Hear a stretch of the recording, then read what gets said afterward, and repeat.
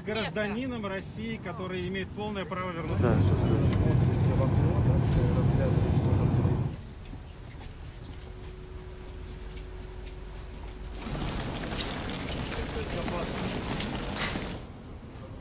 Ну, того, что она проголосовала пограничный контроль, это не означает, что вы же находитесь не за границей.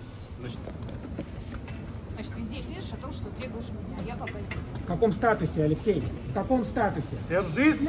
Удачи, Алексей! Мы с вами!